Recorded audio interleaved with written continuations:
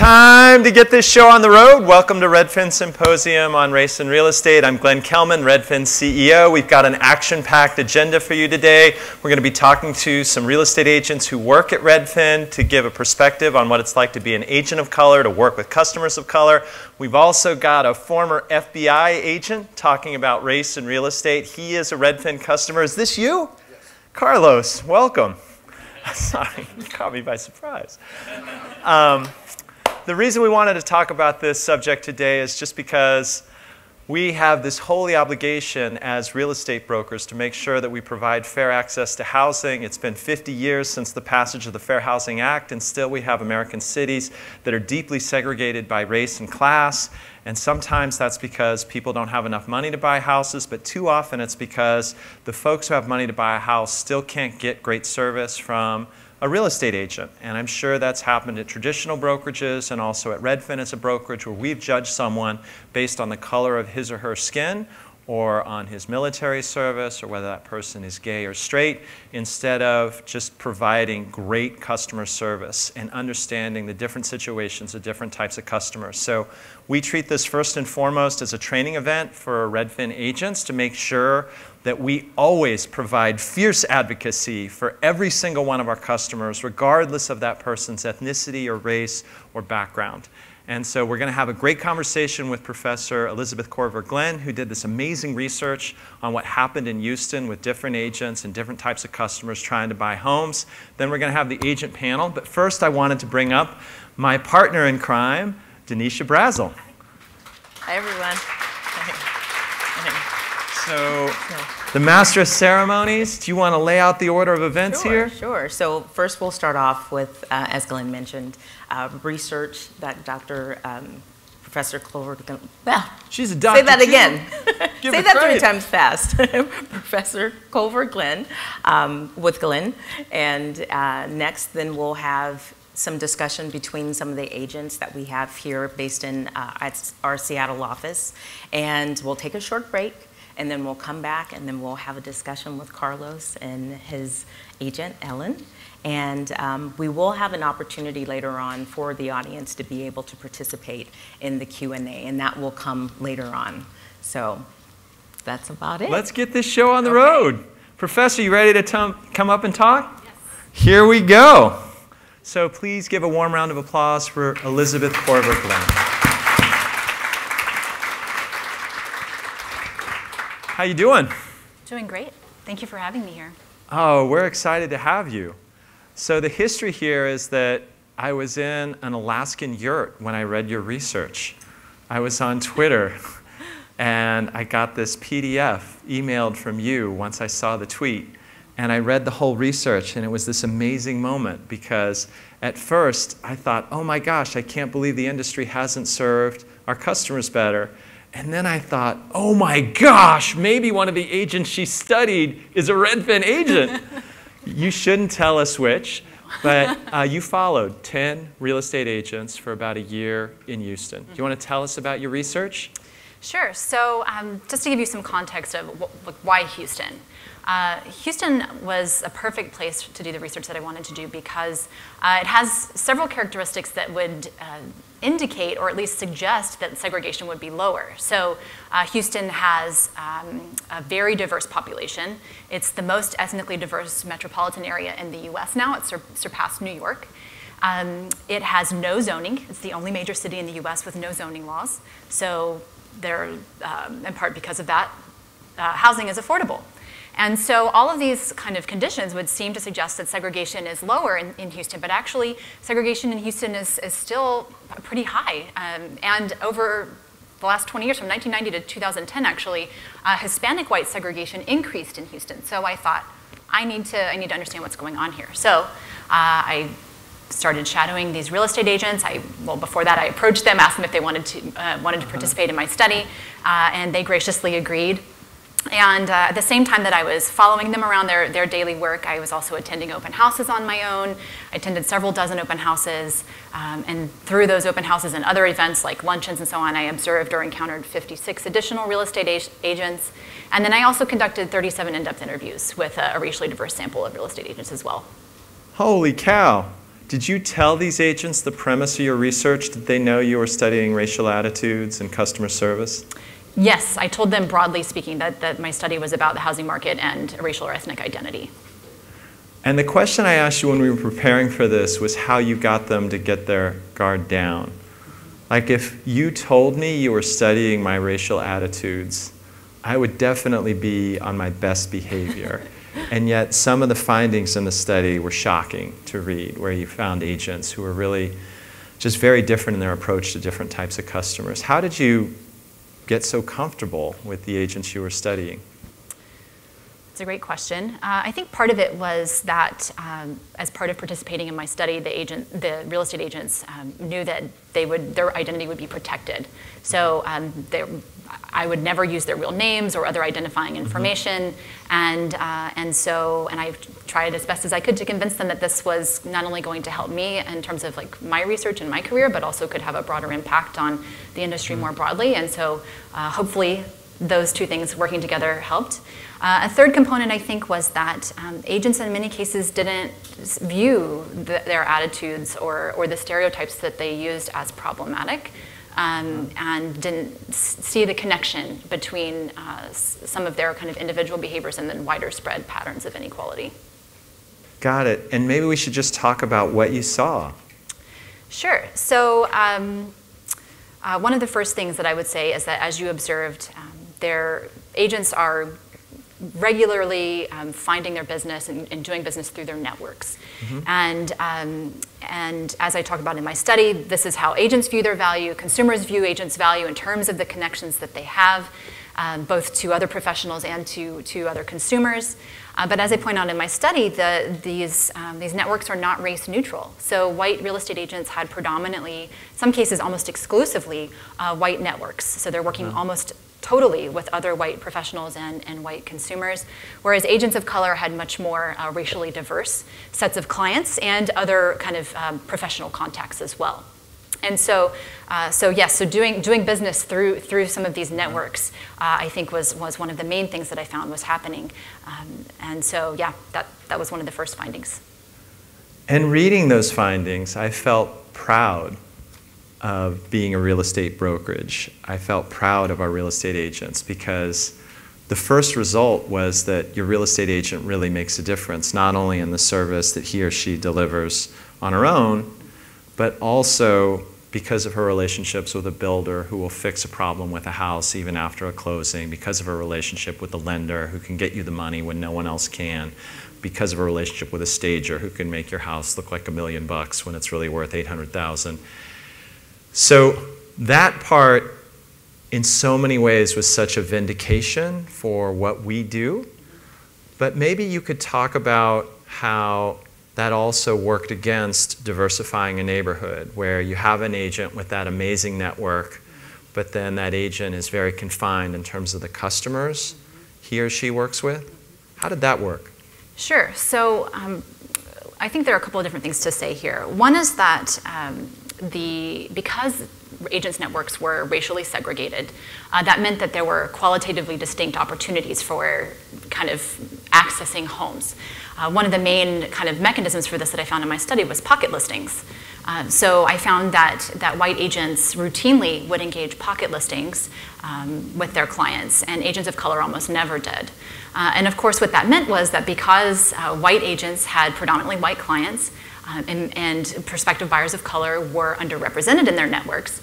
That means that prospective buyers of color were disproportionately excluded from accessing uh, these, these pocket listed homes, uh, which of course has, has, serious implications in terms of uh, ongoing neighborhood segregation as well. And when these agents pocketed the listings, were they conscious I knew I know that they're thinking about creating a competitive advantage for themselves and also creating a competitive advantage for their clients, but do you think they understood the social implications? I think in rare cases they understood the social implications, or at least were, um, were willing to talk about them. Uh, I think I had two agents that, that mentioned maybe there were some fair housing implications um, from of pocket listings, uh, but otherwise there was um, there was not a discussion really more broadly among my agents of the social implications. And can you talk about how agents of color felt about that? If you're trying to represent a buyer and that buyer is concerned that you're not the best advocate for her in an exclusive neighborhood, how did that affect those agents and their ability to build their business? So the first thing I would say is that because uh, because white agents tended to kind of control white consumer business, that meant that agents of color were rarely able to access uh, white consumers, and so. Um, it was it was not something that they really talked about very much because they rarely had uh, white clients.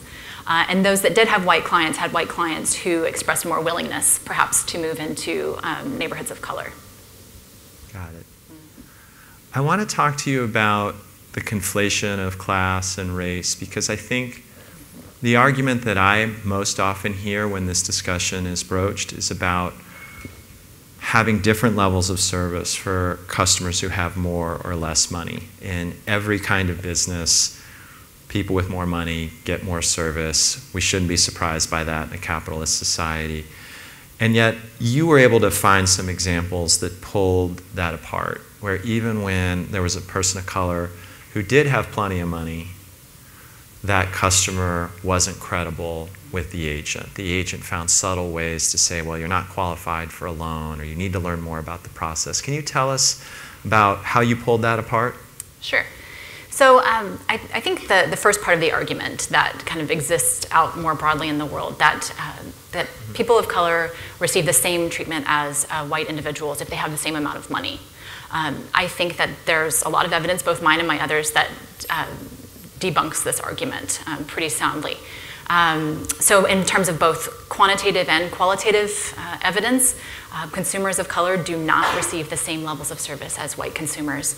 Um, if you look at housing audit studies, and I'm not sure um, if how much training or, or, or, whatever your, your agents have with housing audit studies. But um, housing audit studies, for those that may be watching, um, are studies that pair prospective buyers who share every characteristic except race. Uh, so, for example, they pair a black buyer and a white buyer that have the same income, the same credit score, same education, and so on, and they each approach the same real estate agent, ask for information about available homes, and uh, then record what information, if any, that real estate agent gives them. And uh, these studies uh, show that uh, Asian, in general, Asian, uh, Black, and Latinx um, buyers of color are told about and shown uh, systematically fewer homes than white individuals, and even though these individuals are all equally financially qualified. Um, I and uh, others have found ways that this happens. So, getting to some examples. So, for example, in, in my research, um, wealthy buyers of color were not treated the same as, as white uh, buyers. Uh, one white real estate agent that I interviewed told me that her networks were predominantly white, but she did have a handful of wealthy black clients. And she described these wealthy black cl- clients as, quote, a pain to work with. Um, another. Um, Why do you think she said that? Just because she didn't have the same cultural background, because she was racist, because uh, they were it's hard. It's hard for me racism. as a as it's hard for me as a social scientist to speculate why um, why someone might uh, express an attitude like that. My my, my guess is that. Um, she had some deeply held stereotypes about um, black consumers that even when there was evidence to their ability to purchase homes were not countered. Um, but again, I'm not a, I'm, I'm not in the business of spe- speculation. No, it's okay.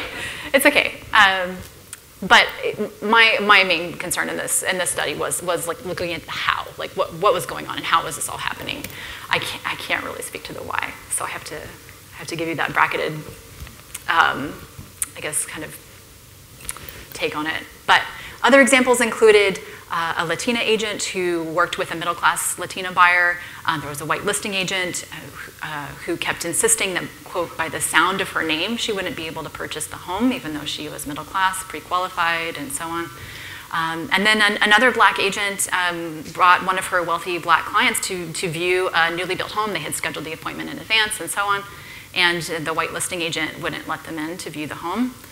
Um, so there, there are many examples. What did the listing agent say?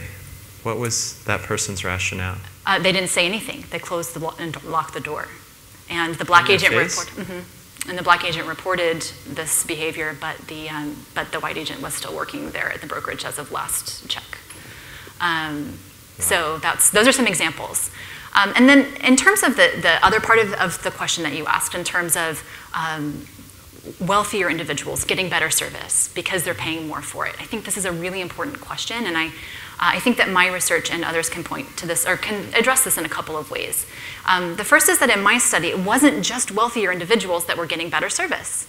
It was white individuals uh, whom agents assumed were wealthier or who had more income who were also getting better service regardless of their actual levels of income. And so I think that that's important to, to point out. Like, yes, we live in a capitalist society, but it's not just about money, it's about assumptions around money. Um, and so that's, that's one thing that I would say.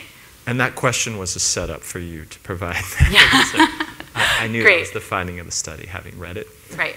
I wanted to talk just about one anecdote because for me it was the emotional center mm-hmm. of the research. And by the way, if you haven't read the research, uh, it really is more engaging and compelling than most academic research that you will read. Uh, I have a copy of it if anyone here at Redfin wants to read it. Uh, Professor Glenn, uh, Korver Glenn, excuse me, has been really gracious about sharing it with others who contact her. It's amazing. But with that as the prelude, um, here is what you heard one agent talk about. So the agent was talking about serving uh, people of color, and I, I think specifically African Americans. You have to do 15% more work for houses that are less expensive. The people over there aren't qualified. Their houses haven't been maintained. This lady called not too long ago and wanted to look at house at a house in Third Ward, which is a predominantly black Houston neighborhood. She said she had a good job and everything. I asked her if she was pre qualified. She said no, and I explained that she needed to talk to a lender to find out what she would be pre qualified for, and that I would send her a list of lenders, and then she got all defensive. I mean, I'll show her the house because it could result in a sale, but I know she's not qualified. And it's not because of race. It's because she doesn't know anything about the process, doesn't know about property taxes, and so on. And so, first of all, hearing him talk about how she got all defensive for no apparent reason, I could easily imagine why she was getting upset. Uh, it must get tiring to have someone question your ability to buy a home when you just explained you have a good job. What was it like when he told you that story? First of all, as an academic, did you just write it down or did you talk to him about it? Yeah, so uh, as an academic, uh, I wrote it down. And uh, part, of, part of the goal when I'm doing research as a participant observer is to record in as much detail as possible what I observe in the field and to I know that I, I am there and so I'm influencing things somehow, but to interfere as little as possible in what's going on. And so um, I, uh, I had actually asked him a question prior to, to that particular quote that you read um, about uh, why it seemed that, uh, that agents weren't uh, farming uh, in, in neighborhoods of color. And um, that was his response. And, uh, and so I, I, I, I, asked him the question that led to that, and I didn't um, push back. I just recorded what he said and um, used it to help fuel f- future questions in the field as well. And did he feel mixed about that decision, or did he feel absolutely confident about it? In what he said? Oh, he was very confident, yes. Mm-hmm. He was not conflicted at all. So, I wanted to talk to you about what to do about it. Clearly, we're having this event just to make sure that we're thoughtful as real estate agents about how we treat every single person we serve because I can easily imagine a Redfin agent talking to someone, having concerns about that person being able to afford a home, and recommending that they talk to a lender first. Uh, part of being a real estate agent is deciding where to spend your time. But because those decisions are so subjective, and because we all have our own implicit biases that we grow up and don't even recognize, I wonder if you have a set of recommendations, if you could take those agents you studied mm-hmm. and talk to them for just 15 minutes at the end of the study and say, listen, here's a few things that could make Houston a lot better over a long period of time. Mm-hmm. What would you say?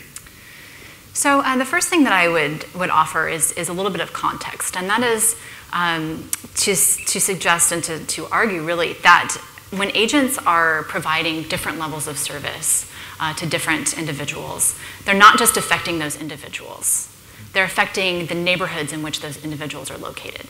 So, say for example, um, an agent is working really hard on behalf of, of her clients and um, brings many, many uh, offers to the table. The home ends up selling for uh, higher than the asking price. Of course, that benefits the individual home seller, but it also brings benefits to that neighborhood because that home becomes a comparable sale that influences the direction of home values in the area as well.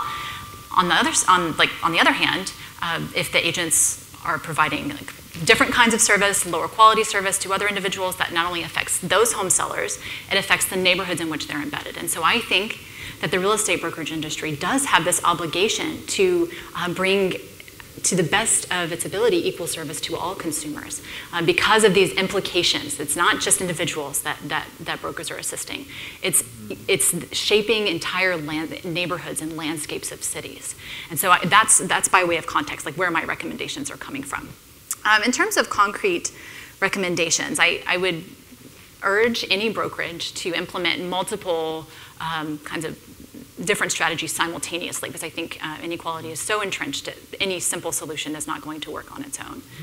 Um, so, as a cohesive aim of um, affirming equal housing opportunity, I would first of all train and recruit, um, recruit and then train um, order matters, recruit and then train a racially uh, diverse uh, cohorts of real estate agents. And then I would encourage them to work in mixed race pairs. So, for example, in hosting open houses or um, doing client appreciation events or generating leads, um, to, to work together in mixed race pairs as, as much as, as possible. And this, the, the aim here would really be to, um, to kind of break down some of the, the segregated network effects that I was observing um, in, in the fieldwork that I was doing. Um, second, I would also train agents uh, with concrete scenarios of what they might encounter in, in their work. Uh, so not just examples of explicit racial prejudice, which I certainly encountered in, in, my, in my research, but also examples of what I would call racial coding, or um, using words that kind of substitute for race, and no one says an actual racial category, but everyone else knows what is meant. Um, Can you give me examples? Oh, sure. So um, many times in my study, when agents would call a neighborhood un- unsafe or crime ridden, they were referring exclusively to black or Latino neighborhoods. And everyone understood that that's what was meant. Um, when they referred to a neighborhood as a good neighborhood or a desirable, na- neighborhood, desirable neighborhood, um, everyone understood that that meant it was a white neighborhood or it was becoming a white neighborhood. Mm-hmm. Um, so again, giving them these concrete scenarios, walking them through, like, how would you respond? How, what would you do if, you know, if your client said this or, or your customer did that? Um, and then I would also train, this is the third thing I would do, is I would actually equip agents with facts about homes and neighborhoods uh, so that there would be less of a temptation to rely on stereotypes and hearsay. Mm-hmm. So, for example, consumer demand. Um, in real estate uh, economics, a common way of measuring uh, consumer demand is to look at the average number of days homes are on the market in the neighborhood and to look at the average percent of homes that take a price cut. Mm-hmm. So the higher number of home, or the higher number of days homes are on the market, the higher percent of homes that take a price cut, the lower demand is, right? Okay, so in Houston, um, demand is actually higher in black and Latino neighborhoods. But the prevailing wisdom is that demand is higher in white neighborhoods. Um, and so again, this is, this is something, this is a, a simple kind of fact yeah. that, that agents should know um, so that there's less of a temptation to rely on stereotypes. Um, fourth, and I just have two more. The fourth recommendation that I have is, um, is that I would organize my brokerage under a flat fee uh, model of pay uh, because I would want to encourage agents to generate as many leads as possible and hopefully uh, eliminate the incentive that I think agents have to uh, rely on notions of, of consumer value um, in terms of like the percentage-based commission structure. I think this is um, this is a problematic thing that should be a change. I'm going to ask you more about that. Oh, okay, great. Um, and, uh, and hopefully eliminate kind of the incentive that I think the agents have for using some of these stereotypes. Um, and then finally, I would, I would just not allow pocket listings whatsoever in my firm. I think they're very problematic uh, for a couple of reasons. One is that they limit competition for uh, home and potentially limit profit for homeowners. And then the second, as I mentioned earlier, is that they disproportionately exclude individuals that aren't represented in agents' networks. So I think together, um, implementing some of these strategies and others would, um, I think, help position the real estate brokerage industry to truly provide equal service to, to every person um, seeking housing. I want to talk to you about your fourth recommendation because sure. some of the people in the audience can remember when Redfin paid agents the same amount of money for every single sale, and the only variable was how happy the customer was. And this proceeded from my ex hippie Berkeley ideals. It did not work very well. And the problem was that we couldn't recruit agents in expensive areas. Mm-hmm. We found that the customers themselves mm-hmm. expected their agent to make more. They wanted to see that agent driving a certain kind of car with a certain kind of mm-hmm. handbag or valise. it was a real challenge to deliver service to different types of neighborhoods without having different types of pay. And I found the most convincing argument to be the one from customers themselves, mm. who were quite upset with these egalitarian notions when they wanted that agent to earn more for a million dollar house to make sure that they got the privileges that you're worried about. Mm-hmm. Um, and I still don't know what to do about that, but I wondered what you would do in my shoes. So uh, I think uh, it's, it's an interesting problem, and I, but I do think that it's, it's one that would, um, if, if I think brokerages work together, it would uh, actually uh, make a change. So I don't think a single brokerage alone can, can affect the kinds of uh, uh, egalitarian ideals that I'm kind of sharing here. Um, but I think that there's, there's a, there are examples in other industries for um, how both expectations around pay and professional culture mm-hmm. work together to either reinforce prevailing norms or to change those norms. So, for example, when I was doing my research, which uh, I don't think I mentioned this earlier, but I, I, not only studied the real estate brokerage industry, I was also studying mortgage lending and appraising and, and so on as part of the broader project. An interesting contrast emerged between real estate agents and appraisers. And uh, uh, real estate agents in my study were, um, as you observed, I think in, in, one of our conversations, were very committed, sometimes zealously committed to this percent-based uh, commission rate. In Houston, it's, the going rate is 6%. Um, but appraisers worked under a flat fee model, and uh, some of them actually thought that um, getting paid a percentage of, of whatever the home's value or price was was actually unethical. Appraisers thought that they should only be paid the same amount for all of the homes that they would praise, regardless of the price point of the home. And, um, and so there was this like moral dimension for, uh, for them as well. And so I think uh, when we consider uh, like professional cultures and kind of pay structure, I think when we look at the intersection of those two things, we might see some solutions and, for the brokerage industry more broadly as well. It would be much easier mm-hmm. if we could pay everyone the way uh, other brokerages did and have it be a flat fee. Mm-hmm. It's just so hard in a competitive market. And I'm not saying that we won't find a way to get there because we think all the time about the incentives we have and whether they're aligned not only with what each individual customer wants, but with what we want as a society. And it's just been a really difficult negotiation between those objectives. I have one more question. Sure and then we'll see if the audience wants to ask anything. And it's about the website. Mm-hmm. So we operate a website and we also run a real estate brokerage. Mm-hmm. And one of the questions that we've been wrestling with is how the internet can sometimes work in favor of a more equitable society instead of deepening divisions and mm-hmm. causing more partisan warfare. Mm-hmm. Do you have any recommendations about that? Because we've prided ourselves on having black and white agents reviewed based on their performance, on having customers of any color being able to connect with any type of agent. Um, and we've hoped that that's limited some of the network effects that you're describing. But more recently, we've been battling about whether to publish school scores because the school scores themselves are a product of whether you have a rich neighborhood with rich kids um, or not. Mm-hmm. Um, and we just wondered what your perspective was on the website.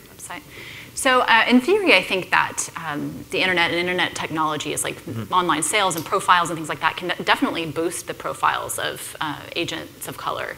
Mm-hmm. Um, but I don't think that the internet alone can break very entrenched popular associations about neighborhoods and race. Um, and by that I mean, so in my study, it was um, uh, it was not just that that white consumers were uh, referred to white agents, but they also wanted to work with white agents because they felt that white agents would understand their desires to avoid minority neighborhoods without actually having to say so. Um, and white agents on their part found creative ways to, to, to, do this. So they would, for example, they would advise um, their clients to drive around neighborhoods after work hours or on the weekends so that they could get a feel for the neighborhood, i.e., see who was living there. Um, they um, expressed discomfort with the local public schools, or they suggested the areas were unsafe. Um, and they believed that they were not breaking the law by doing this, and they um, um, didn't. They actually believed that it was the way that they were going to make their money. Mm-hmm. So all this is to say that um, I think the internet technologies can um, can actually be very productive, but I think that these internet technologies that Redfin and, and maybe some some other brokerages are, are starting to get into is they will be most effective if they're paired with industry or brokerage specific incentives that prompt agents to uh, recruit clients of color and meaningful consequences or disincentives for agents who avoid prospective clients of color. So I think it has to be uh, things working in tandem, and not just the internet alone can break these very entrenched, assump- entrenched assumptions. Um, also, industry and, and, brokerages, I think, have, have an, um, uh, an obligation to, to really incentivize or de incentivize agent behavior through implementing other strategies as well. Mm-hmm. I feel like I'm an academic now where I should just be asking questions, but I have to weigh in as a CEO just to make one clear statement since mostly this is an event for our field organization. I've said this before to different groups, but if we ever found out that one of our agents was treating people of color differently and wasn't advocating as fiercely for that person as as we would for a white client, we would ask you to leave. It's one of the only things where we wouldn't give you a second chance, where that would just be the end of it, because we have to feel that every customer who comes from our website or from your own network is going to be treated the same way, that there's going to be fierce advocacy uh, for that customer. But now I'm going to turn it over to the audience to see if there are any questions before we bring up uh, Roderick and James and Lori. Are there any questions?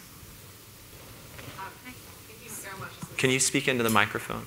Hi, I'm really grateful for your sharing your insights. Um, I work in a bank, and I'm curious to hear your perspective, on any research you've had done on the role that uh, lending plays in reinforcing the racial and class segregation in America. Yes, there is a lot of research on mortgage lending inequality. Um, prior to um, deregulate, de, um, deregulation of, uh, of the mortgage lending uh, industry in the 90s, um, the story was one of, um, of prospective borrowers of color essentially being locked out of, of mortgage loan opportunities systematically, regardless of income or credit score. Um, when the industry became uh, deregulated in, in, the 90s um, and into the early 2000s, uh, a, a, massive shift occurred. And what happened was that um, um subprime lenders and kind of boutique lenders that specialized in, in subprime loan products, because there was less regulation uh, of these um, companies, were able to go uh, and offer their offer their products. And there's been a lot of research um, recently that's shown that they actually disproportionately um, were targeting uh, neighborhoods and, and um, prospective borrowers of color for these subprime uh, loan products in the lead up to the housing crash.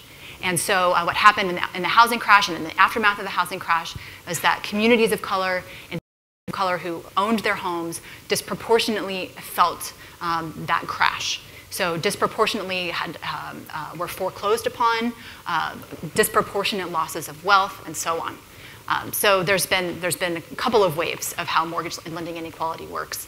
Um, in my study, I did, uh, did study mortgage lending as well, and one thing that I found was that the same kinds of stereotypes that real estate agents were using um, emerged repeatedly in my interactions with mortgage lenders as well. And they can, they can access these stereotypes because on um, Form 1003, this is the kind of the required uh, mortgage loan application form, um, uh, applicants have to write their names, and they have to, well, they don't have to, but they're um, urged to fill out their race, ethnicity, and sex information. And if they don't fill it out, then the lender will fill it out for them. And underwriters view all of that information. And they use um, uh, clients' names and their race, ethnicity uh, to make discretionary judgments about applicant risk. So there's, there's a lot going on in mortgage lending as well. We have time for one more question if there is one. Why don't we do two since you guys you guys tied for first? Hi, thank you again for doing this. Um, I wanted to ask, did any of your research look at some racial um, discrimination between broker to broker? Um, we've had scenarios, I come from Chicago, where some of the scenarios I'm hearing about is if you're a broker of color working with a person or consumer of color and you're trying to buy a home in a neighborhood that is traditionally a white neighborhood, that that um, selling broker is not cooperative, is asks questions that violate fair housing, et cetera. Do you, did you, any of your research see that? Uh, I didn't notice any patterns of broker to broker discrimination, but I did notice patterns of uh, other kinds of professional to professional discrimination. So, for example, um, uh, one of the Latino agents in my study uh, had a white architect who refused to work with him. Um, one appraiser had a white real estate agent approach him and uh, ask that he take uh, lower value comps so that the prospective black buyer would not be able to purchase the home because the contract would fall through.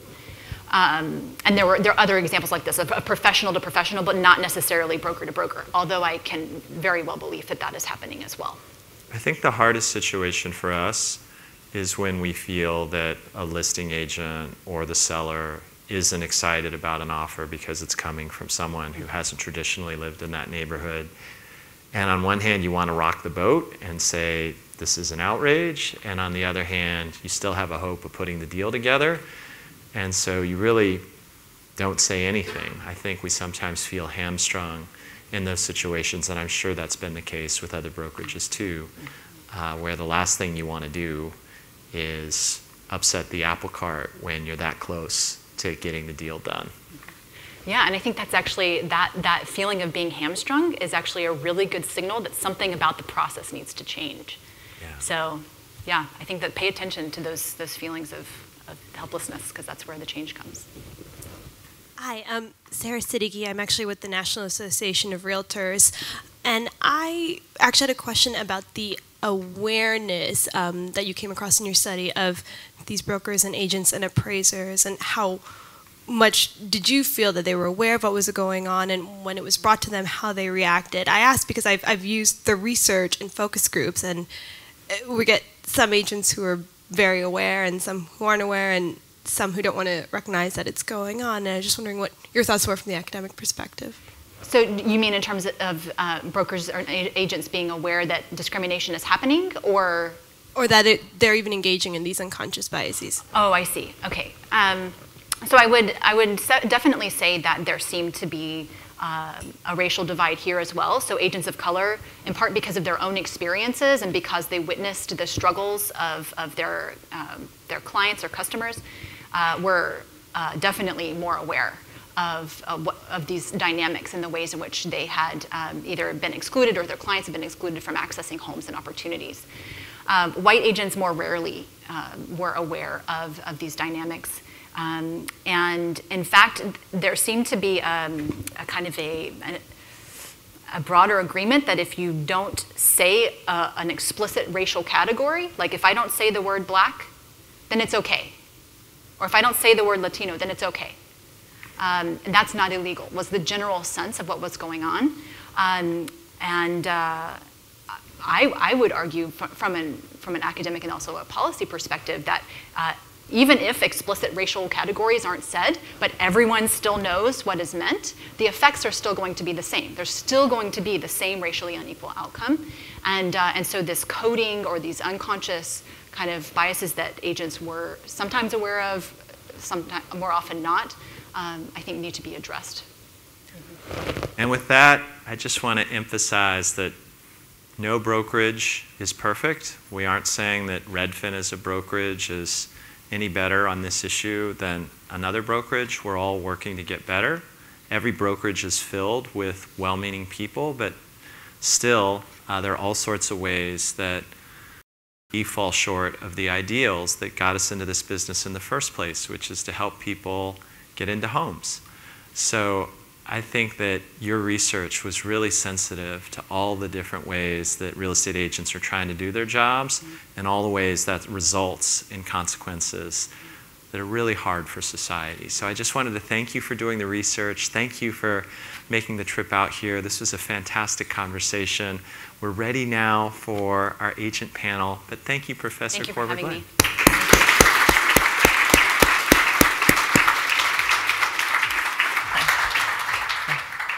Actually, we are going to take a quick 15 minute break. So, for those of you that are on the live stream, we'll be back in 15. Oh, sorry. Okay, thanks.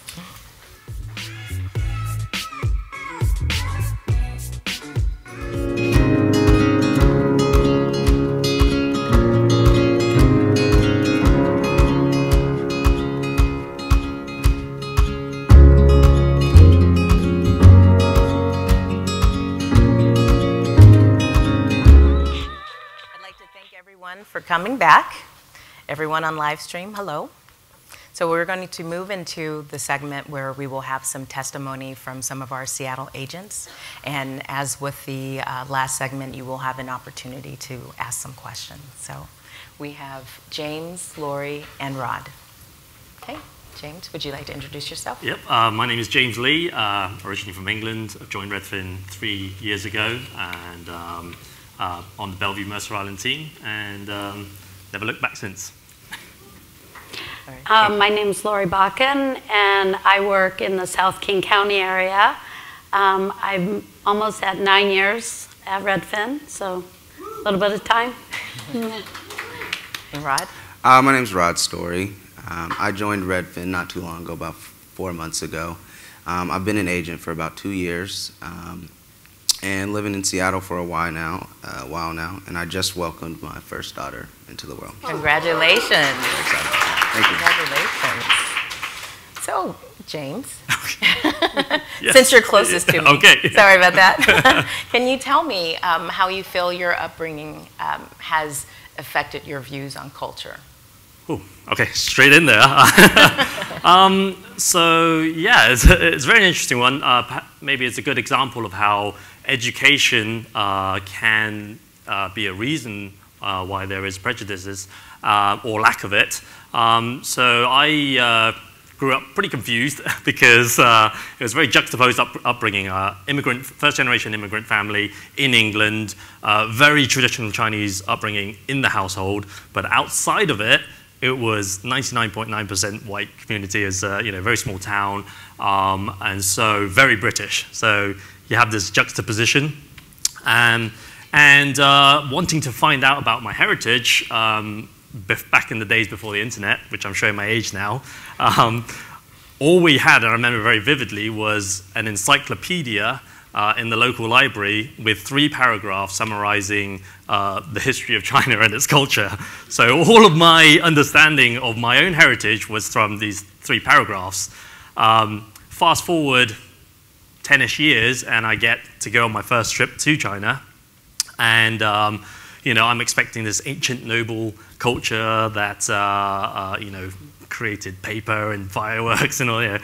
Um, and actually, I was a little surprised, you know, the first, as soon as we got on there, you know, people were jumping in queues and everything like that. And uh, I did, you know, just didn't match up with kind of my expectation uh, because that was all I had to go on. So I actually left that trip a little bit demoralized in that, um, you know, you know, wh- why were people kind of a little bit rude, in fact? And this was, again, quite a few years ago, and China's made you know, huge headway since. Um, and after coming back, you know, I studied a little bit more about the history of, uh, of the country and realized that they you know, the country and its people have been through these quite big horrors, really, with uh, the war uh, and a civil war going on simultaneously, followed by a cultural revolution. Um, and it kind of came to me to, to realize that, uh, you know, when you are in that position, I mean, it's very easy to judge people and queue up and have manners when, you're, when you have a full belly. Mm-hmm. Um, but, um, you know, if you are in a position where, you know, you have to fight for food for your family, like if you queue up, your family is basically going to go hungry.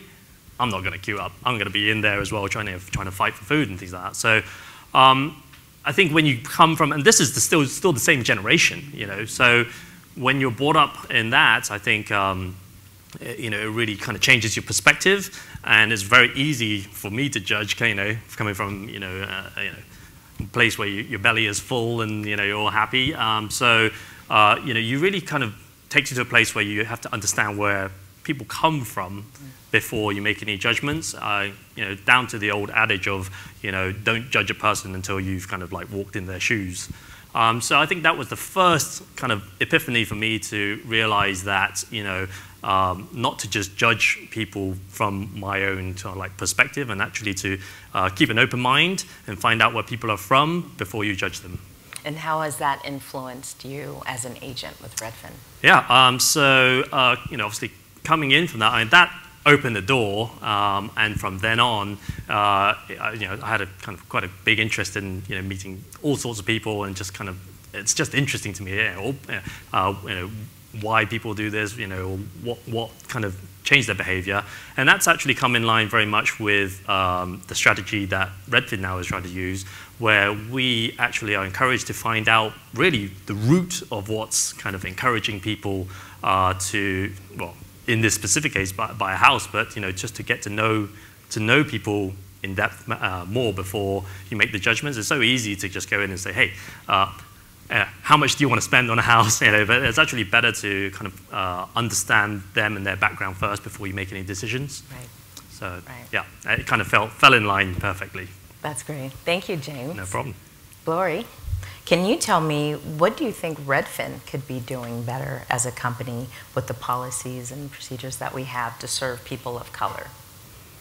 Um, well, I think right here, being in this room, having this discussion is huge. I, I can guarantee you there's probably a, not a lot of other real estate companies even taking this topic on in this room and in a meeting situation.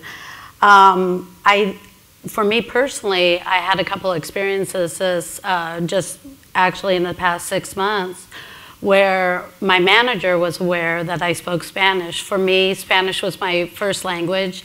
I grew up in South America, and I had never really had that opportunity to do anything in Spanish.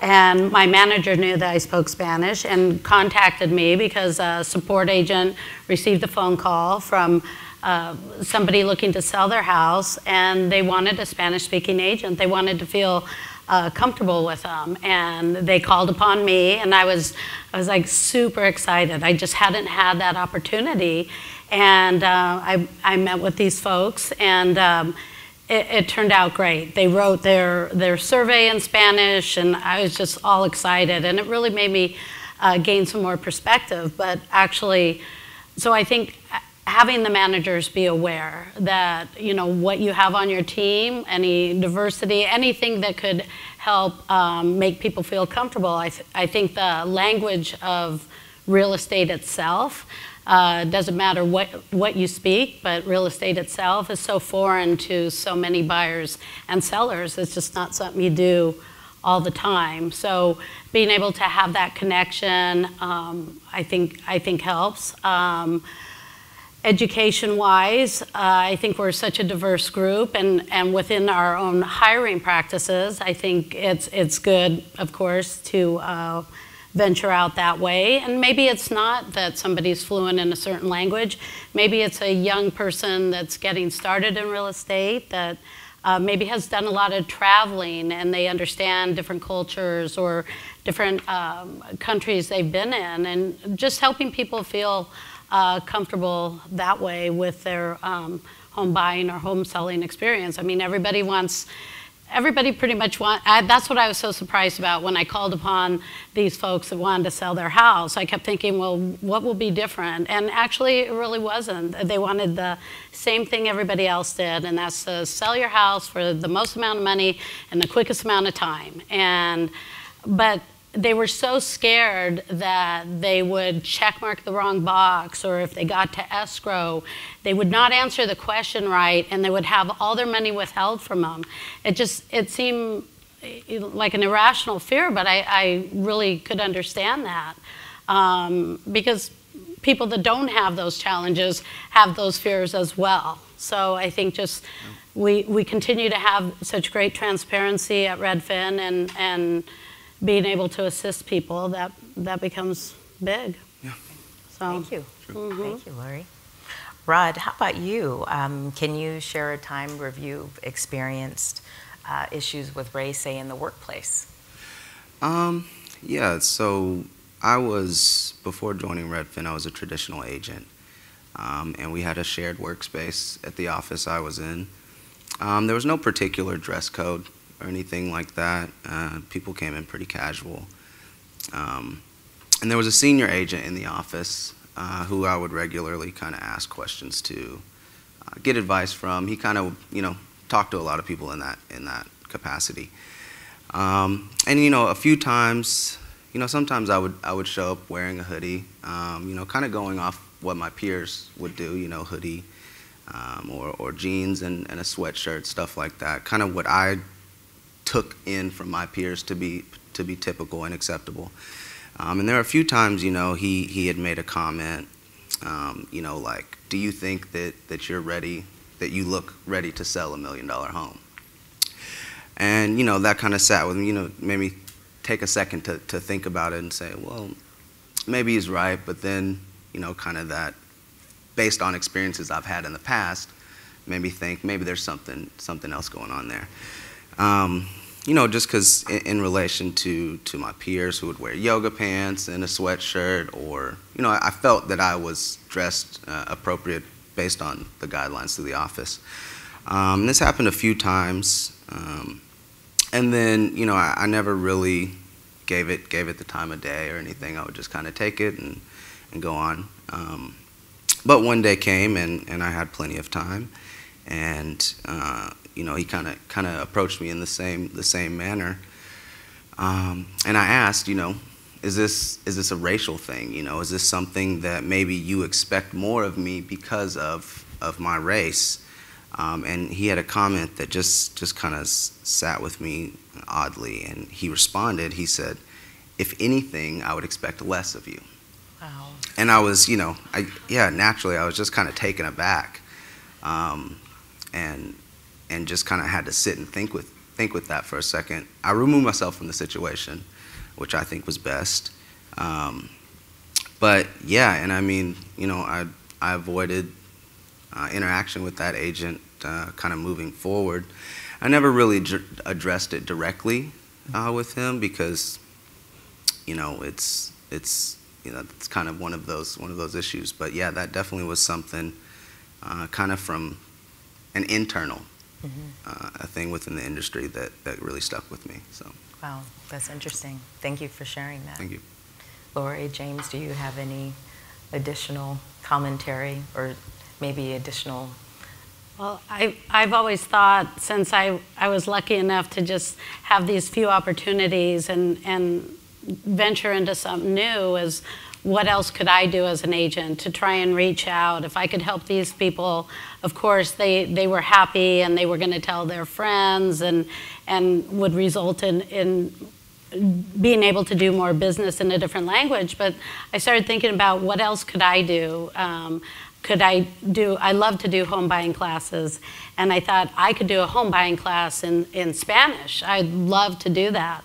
So, um, you know, I think that's one of the things Redfin can do. A lot of times, uh, like I saw that we marched in the Gay Pride Parade, but maybe we as a company can, around Seafair time, there's always different festivals, this heritage or that. we should be we should be prominent in all areas, not just one single parade, but let's let's be in different areas, uh, things like that. I'd love to see us work on. Fantastic.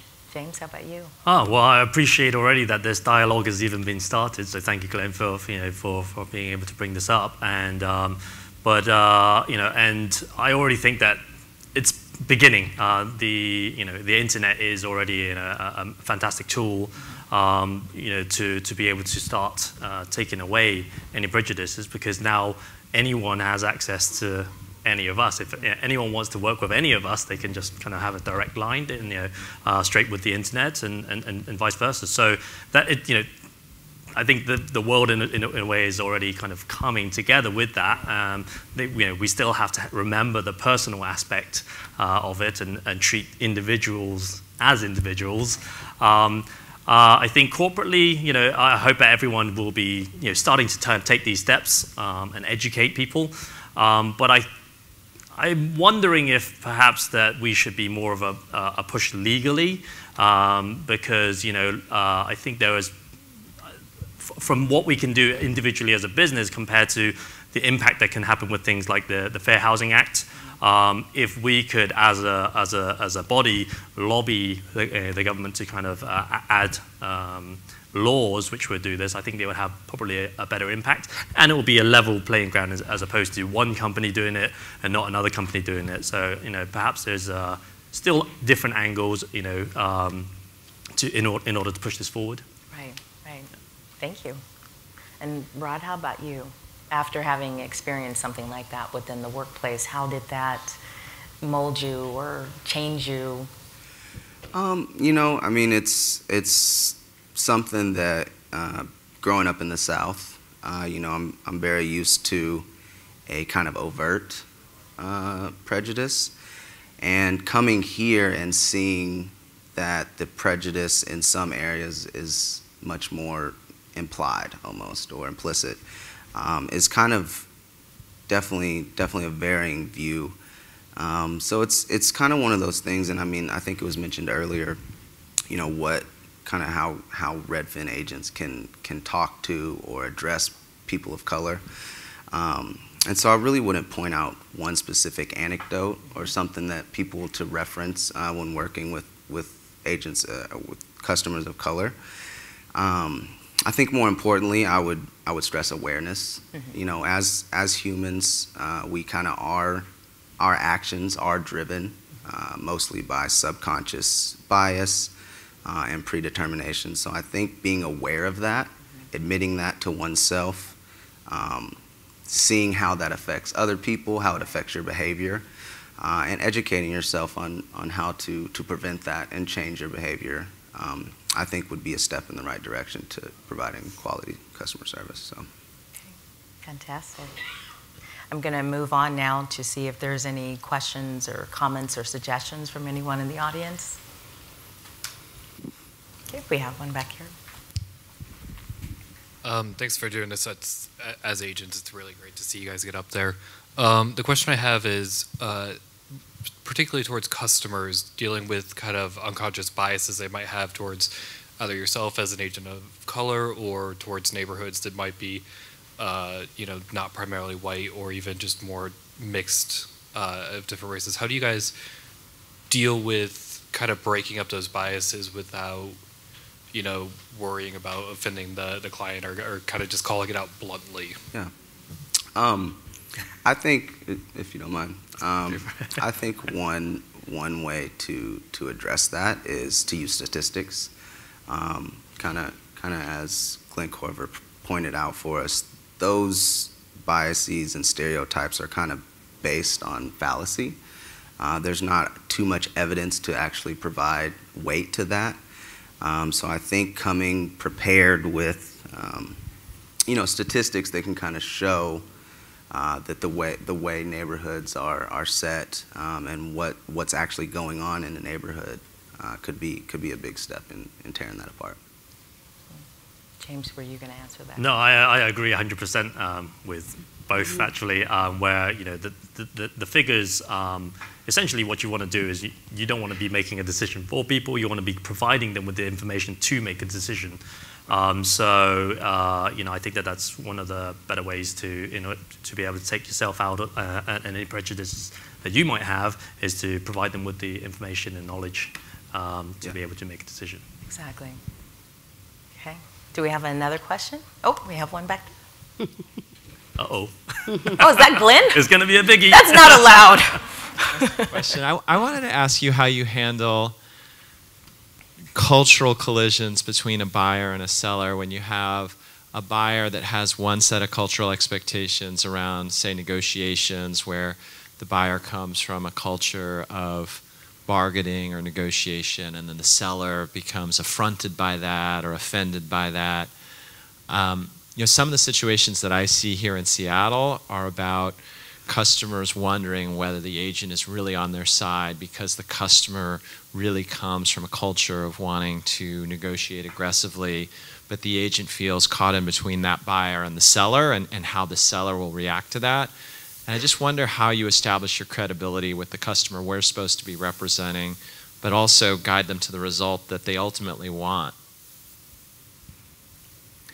Um, I mean, I've I've had uh, experiences such as that to where you know I meet a client um, and they're asking all kinds of different questions uh, about based on the culture that they they're from and they're involved in uh, that I kind of was unaware of and you know I, I can't speak for everyone but the way that I addressed it was just kind of plainly um, you know I let them know that I, I did lack education about their culture um, and kind of opened up that dialogue with them to to kind of get more information and see, and then as well as providing, um, you know, what information I could from the real estate side of it. So trying to open that conversation, um, and just kind of again being aware of of sometimes your your own ignorance can can really help uh, mitigate those situations.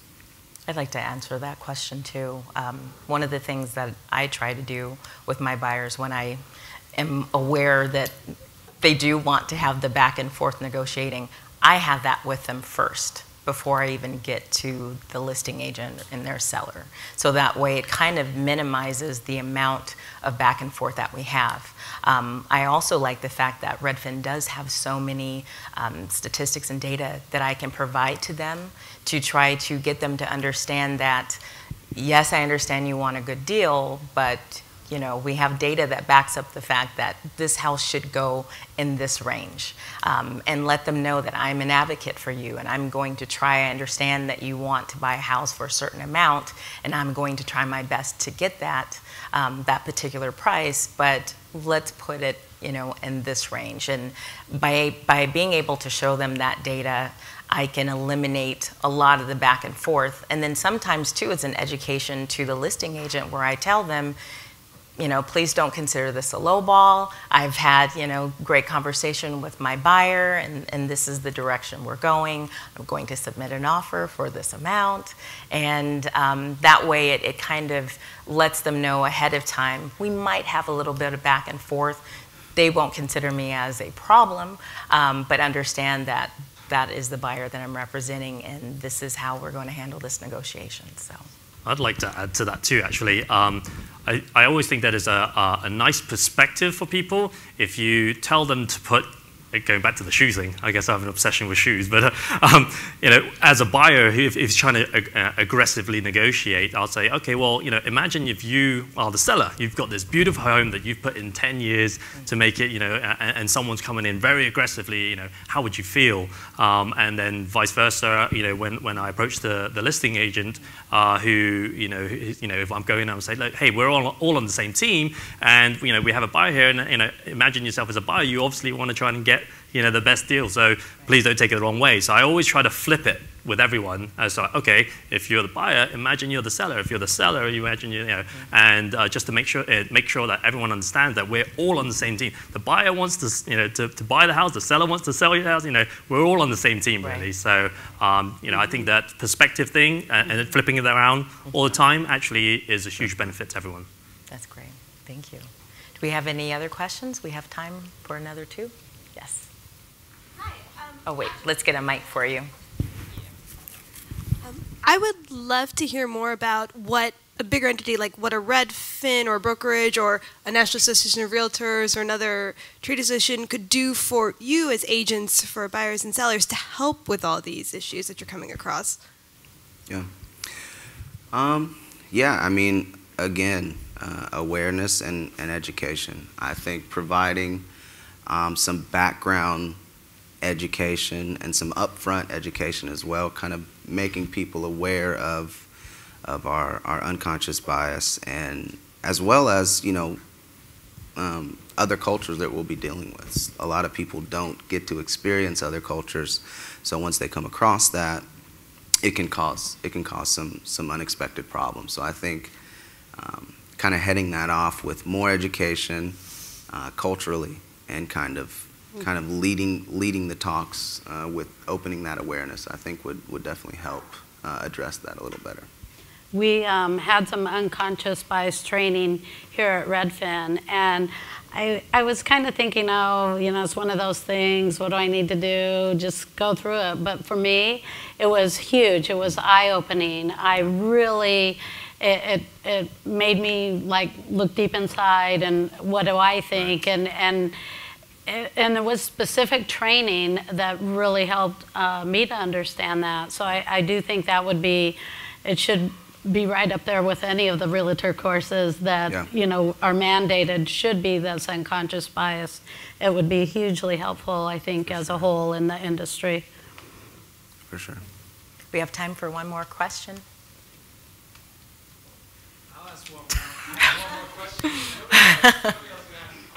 My other question is, how how do you deal with a situation where you have a customer that's not from your particular racial background, ethnic background, sexual orientation, or what have you, and you want to win their trust? If you're a white agent in this audience who is thinking, oh, well, I need to work on how good I am at advocating for Asian American customers or for African American customers or something like that. Just do you have any advice about how you approach that to make sure that folks understand you're on their side and that you understand them? I'm going to try not to use a shoe analogy. Uh, so uh, I think probably um, it should come from yourself in that uh, as as a person you should love people, you know, you should and and uh, and have empathy. So if you're going out, um, you should genuinely just be kind of caring for this person, going, oh, you know, and if you don't understand, to ask the questions why, you know, hey, so why why is it that you have this thing against you know, a, a house facing east or whatever, whatever it is, um, and just you know, asking questions, being empathetic, and trying to understand where they're coming from, and you know, uh, have an open mind and accept that. Agreed. Any other questions? No? Okay. Thank you very much for your time. All right. Thank you guys. Thank Out of you. here. Well, I'm gonna, okay. I'll move one of the chairs. So next, um, we are gonna hear from Carlos and Ellen.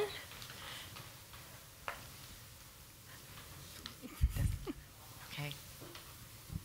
So Ellen, I'll let you introduce yourself. Hi, I'm Ellen Campion, and I've been with Redfin a little over three years. Um, lived in the Middle East for many years as well, so worked with uh, so many ethnicities. I honestly, I could not possibly count them, and uh, um, but uh, really enjoy Redfin. Thank you. And Carlos. Uh, my name is Carlos Mojica. I uh, am married, have two children, a 16-year-old and a 13-year-old. I, uh, you can probably tell from my accent, I am not from this area. I grew up in the city of Boston. I just recently retired from the FBI last December. I served in the FBI for 20 and a half years. Uh, my most recent position with the FBI was the Assistant Special Agent in Charge. So I was number two in command for the state of Washington. And I actually want to thank some of my co-workers who actually just made it in. Uh, so thank you very much for showing up. Thank you. So we're moving into the segment now where Carlos is a customer of Redfin and Ellen being his agent. So we'll, we'll have, again, an opportunity to have Q&A after the fact, but we do have some questions for you too now. Okay? So Ellen, um, what would you say you've done in your career to help prepare you for working with customers of different cultures? Well, Saudi Arabia was probably the the, the, the, biggest education because um, nobody was from here. I mean, everybody was from somewhere else, some other country, um, different color, different, different customs, um, different religions. Um, pretty much, it, it, was pretty wild. It was, it was great, though. Um, uh, a girl from, that was uh, born and raised in uh, Parkland, Washington, a little tiny town, um, never went anywhere in her entire life to end up in Saudi Arabia was uh, pretty phenomenal. And I, and, I, and I am extremely grateful for the, um, the privilege of being able to do that. Um, so, how did that prepare me for um, working, frankly, in this um, uh, the climate that we have now? Is that you know treating people with love and compassion, regardless of color, creed, religion, gender, whatever. Um, it's just it's just how I run my life, uh, personally and professionally. So I, uh, I, I think that my my entire life ha, ha prepared me for that. You know, I come from a blue collar family, very much wrong side of the tracks. So I understand uh, uh, maybe some prejudice in a little bit of a different way, um, uh, maybe an economic kind of a thing. So, um, as I said, treating people with kindness and compassion mm-hmm. and how I would want to be treated myself. Um, those are the things that my life experiences have taught me. Okay, thank you, mm-hmm. thank you. And Carlos, can you share, since you were in the FBI, um, just your views on diversity and how things varied from different neighborhood to neighborhood, or even just you said from Boston versus here in Washington? Yeah. What different levels of diversity? Well, one of the things in the FBI that we always tried to do is try to get the uh, kind of mirror the, the communities that we were serving. So we tried, we were very aggressive with regards to our recruiting efforts. Uh, we, I personally went to several different neighborhoods to try and talk to the folks, educate the community on what we do, and uh, make them feel comfortable coming to us with information and so forth. Uh, uh, working together to solve crimes, that kind of thing. I, as I mentioned, I grew up in Boston. Um, the area where I lived in Boston was not uh, considered one of the best areas in, in the city. Um, so growing up, I knew, and again, I, having grown up in Boston as a little kid, I was exposed to a lot of different things. In Boston, back when I was growing up, there was this thing called forced busing, where kids from uh, mostly minority communities were forced, you know, would, would go to um, mostly white neighborhoods to receive an education, you know, grammar school, middle school, and high school, and so forth. Uh, I remember as a little kid seeing images of, you know, buses, you know, with little kids with bottles being thrown, mm. that kind of thing. So I knew, even as a little kid, that there was certain neighborhoods that they weren't going to be as welcoming to me just because of the way I look. I am of Puerto Rican descent. Um, much like you, growing up in my house, we only spoke Spanish um, because that's my, what my parents insisted, uh, although they knew how to speak English, obviously. Um, they insisted, it, well, while my sisters and I have three sisters that at home, we, we, we always speak Spanish. Obviously, we ate all Puerto Rican food. We were immersed in the Puerto Rican culture. Um, my family would send me to Puerto Rico as I was growing up during the school vacations so I would be more, even more so immersed in the Puerto Rican culture while in Puerto Rico on vacation. So um, for me, you know, oh, I should also mention my wife is African American.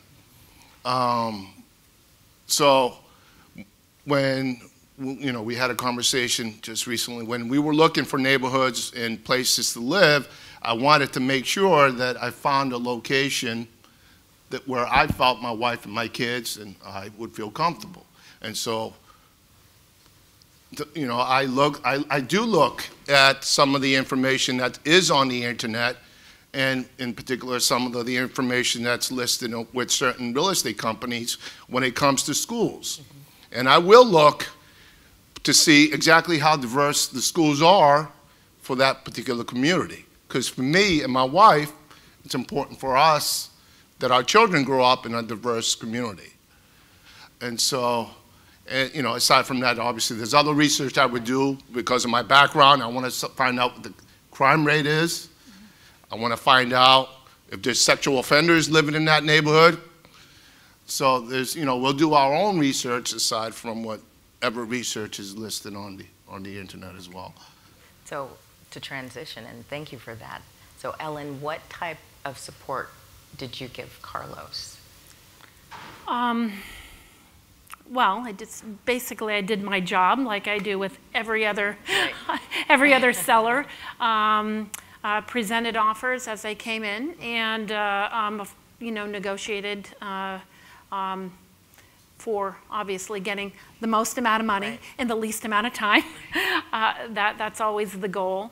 Um, but uh, you know, other than that, uh, I I really um, I, I did my job. And, uh, and I like to think that um, uh, you establish a connection with people and uh, uh so that you can kind of meet them where they live, if you will, um, uh, in, in order to be best serve them.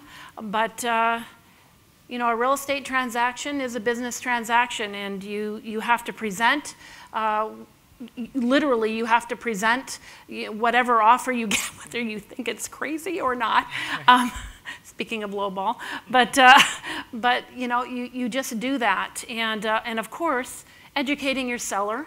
Um, uh, once in a while, uh, you know, I, I, I, don't, this did not happen, you know, with Carlos, but uh, and Tanisha, but uh, you, you, do get the that culture that that likes to bargain, and you just say, hey, you know, it's it's, it's a bargaining thing too. So nobody can be offended.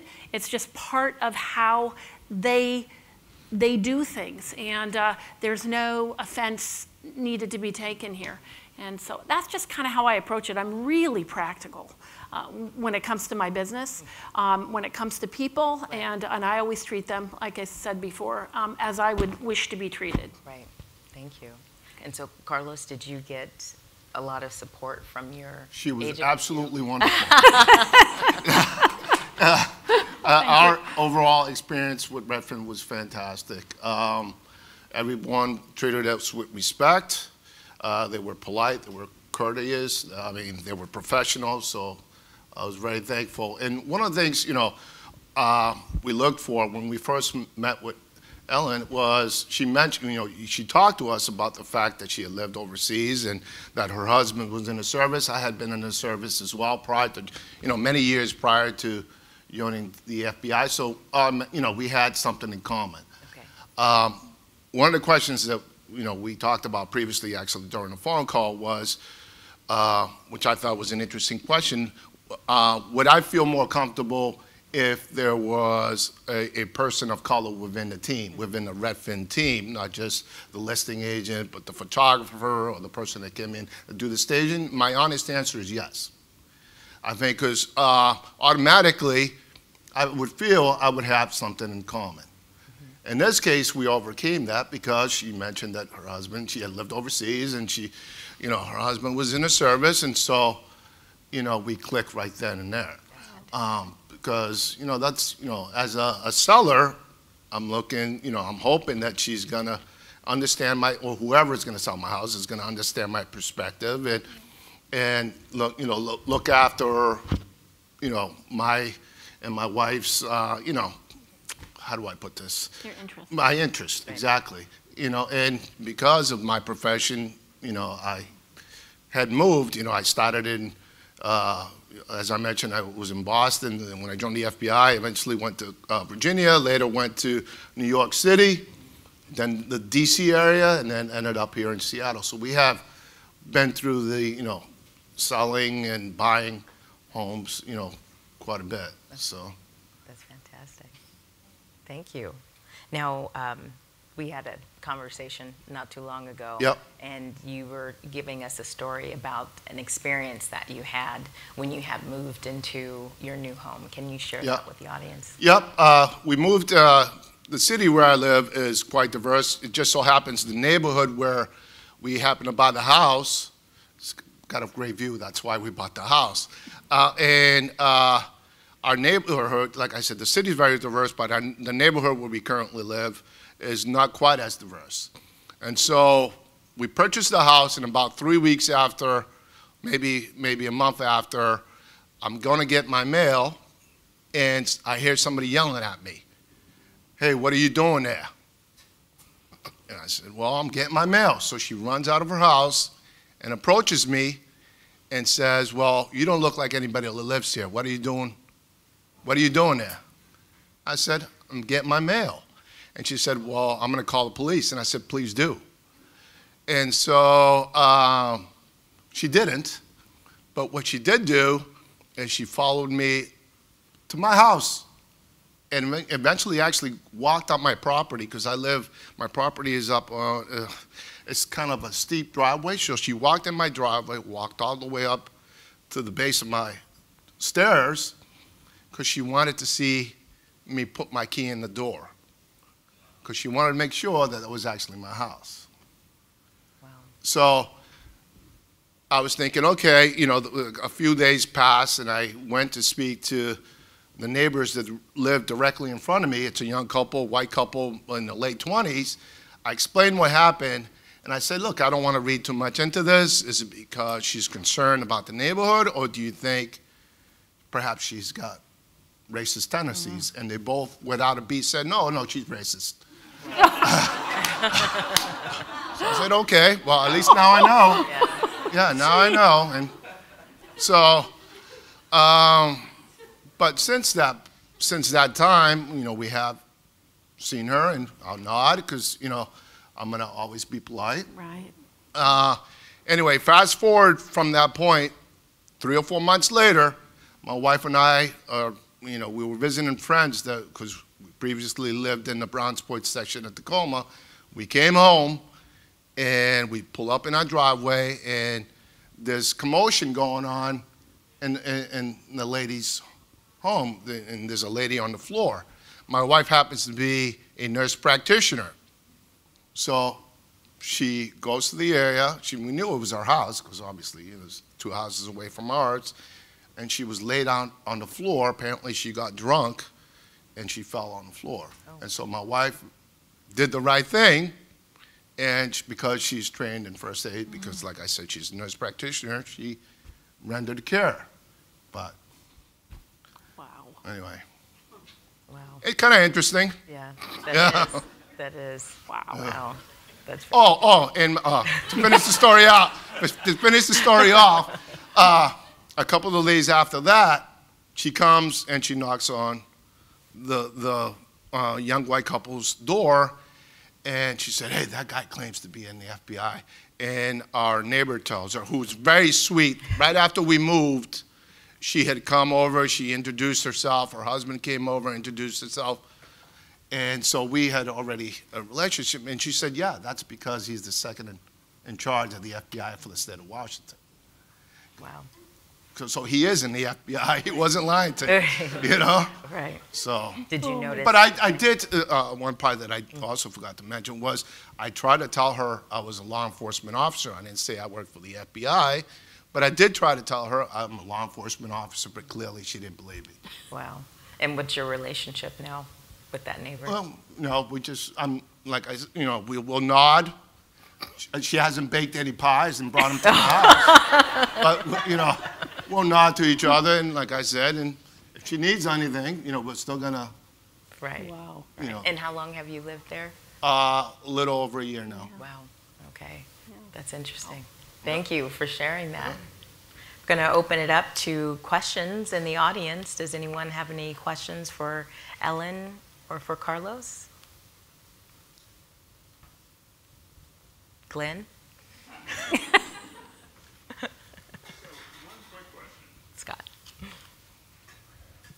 So, Carlos, um, one of the things, Redfin, uh, I think James Lee mentioned this in, in the last segment, where we have agent profiles on the website and that people can choose that.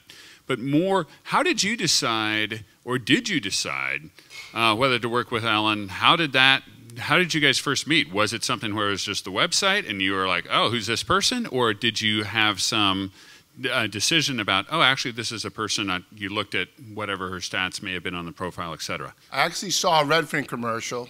Okay. I went Great. to the website. I found the number. I called the number, and then I got in contact with. Uh, she called me. That's essentially how we met. And and follow up question. So she called you. One, could you did you know? Okay, this person is either like me or not like me, or seems to know what she's talking about. Like, how much in your head were you thinking? Like, no, she's got to try out and come into my living room and earn my business, or was it like actually when you had a phone call, this person seems to know what she's talking about? Um, there was a little both. She seemed, you know, obviously I'm going to ask questions while I'm on the phone, and based on the responses, I'm going to invite her to my house. And so that's what happened. She answered the questions in a fashion that I liked, and then she came to my house, and it worked out great for us. Great, thanks. Thank you. Oh, we have another question. Is there any information that you think was useful in finding a good neighborhood that wasn't available on the Redfin website when you were searching? Um, well, for me, some of the stuff that I, I, I found outside of the website, like, for example, the sexual offender. I wanted to find out if there were any sexual offenders in, in my area, the- you know, the area where I bought the home. Uh, and I wanted to find out about crime stats, crime statistics for that particular neighborhood and for the city as a whole. So I did not see those stats there, so I was, obviously because of my job, uh, I was able to find them on my own. but um, uh, I, I should mention, uh, and we are, part of the other thing, uh, you know, one of the other things that we discussed over the phone was, um, I think Helen, Ellen had mentioned that you weren't really aware of that this kind of, you know, thing, you know, ratios. Uh, uh, what? How did you put it? I can't remember. Like. Um, racial, uh, almost like attacks or that kind of thing actually happened in the state of Washington, right? Well, not in the state, I mean. Oh, or in the area. Yeah. And so part of my responsibility, I was in, in charge of the criminal program, and within the criminal program, I was uh, in charge at, at, at that time of uh, hate crimes. So I had hate crimes, I had violent gangs, child prostitutions, uh, uh, uh, many different areas. Um, and so I was aware, keenly aware, that there's certain areas around the state where those kinds of things do happen, where people have things spray painted on their garage door, where people are refused to, you know, to be served in certain establishments because of the way they look. So for me, like that's one of the reasons why my wife and I, when we were looking, we wanted to make sure that we found some, some a place mm. that's somewhat diverse, if that makes sense. Thank you. Yep. Thank you. Oh, we have another question. Thanks for coming in today, Carlos. Thanks for having me. Um, we are trying to build a diverse technology team and company at Redfin. Could you tell us a little bit more about when you were at the FBI, how you hired a diverse workforce? Like, what kind of things did you do to get diversity? Well, we went to many different job fairs at college and universities. We went to military bases. JBLM was a big one for us. Um, we, I, I went to several different, even high schools, because we knew eventually those kids are high school age now. Eventually they're going to go to college, and eventually they're going to be looking for a job. So we educated the, the, every, the community, even community groups. I went to Tukwila and talked to, uh, and several of my coworkers did as well, to uh, a Somali community group that was there. I went to uh, Tacoma and, um, and I went to uh, Chehalis. I went to several different parts around the state to kind of educate people not just on the special agent position with the FBI, but intel analysts and other professional support positions to plant the seed where hopefully maybe they're not thinking about it now, but maybe five, ten years from now, hey, I remember that one guy that came over to my school or to my community group. Maybe that's something I might want to consider. Mm -hmm. So. And are you sharing with them what role they would play as far as if you're looking for, you know, diverse employees? Yes, that's one of the things I, I, one of the things I stress. Uh, when I first came in the FBI 20 and a half years ago, now it's 21 and a half years ago because I've been retired for a while now, um, the amount of ladies in the FBI, women, was not high. Uh, so even though obviously clearly I'm not a woman, when I would go out, I would explain, hey, this is why it's really important for us in the FBI to have more women in the FBI. We want people like the young ladies all, all, all the way in the back there. Uh, uh you know, when we explain to them, uh, these are the skills that we're looking for. We want folks who've worked in accounting. We want folks to, who are, have uh, legal experience, like, like my, one of my coworkers, Heather, back there. She has a, a JD. She's a lawyer. And Misty was in uh, the uh, service. She served in the Army. Jimmy Clement has a, both a law degree and he served in the Navy. So, um, you know, explain to them, hey, this is the, this is the kind of background that we're looking for, and this is why I think it's important to have more women or more people of color in the FBI, and you know, encourage that back and forth, and uh, hopefully convince one or two people in a crowd of 100 to eventually, uh, uh, you know, apply and make our our agency better. The more, the way I've always looked at it the more diverse we are, the better we're going to be. That's right. right. Yep. And the better we're going to be able to serve the community that we should be serving. Exactly. Exactly. Yep. Thank you, Carlos. Yep. Do we have? Well, I should also mention that after I retired, I, I, was lucky enough that the FBI actually hired me back through a consulting firm. So I retired. Two months later, after I retired, I got hired by a consulting firm, and I work with, uh, still am lucky enough to work with the FBI once again, but in a different role. That's fantastic. Yeah. Thank you. Um, we have time for one more question. Oh, we have one back there. Carlos, I'm curious during your home buying process when you're hunting for a home, did you ever have the perception that the race of yourself or your wife played a factor in any way, even if it was perceived? Um, you know, I don't, you know, if, I never, you know, let me put it this way. Uh, there was one incident that we had where we went to uh, purchase the home, and at the time I was actually considering getting a VA loan.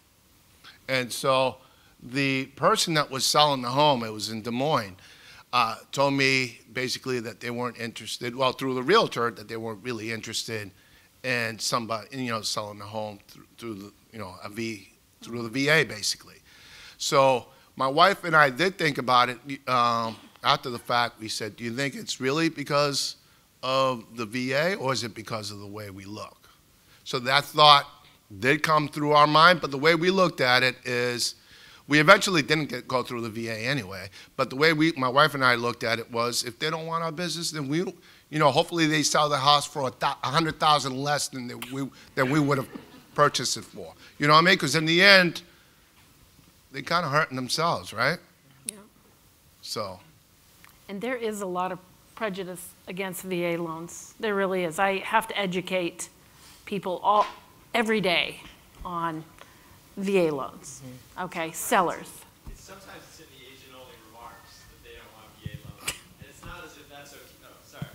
It's not as if that's okay either. No. No. Okay, so if we don't have any more questions, I'm going to thank the two of you for coming. Carlos, thank You're you welcome. so much for your time. Very appreciate it. So that concludes our event for today. Um, live stream, thank you so much for um, watching us. And for those here that are in uh, Seattle here at the headquarters, we're going to have a networking event afterwards. So thank you.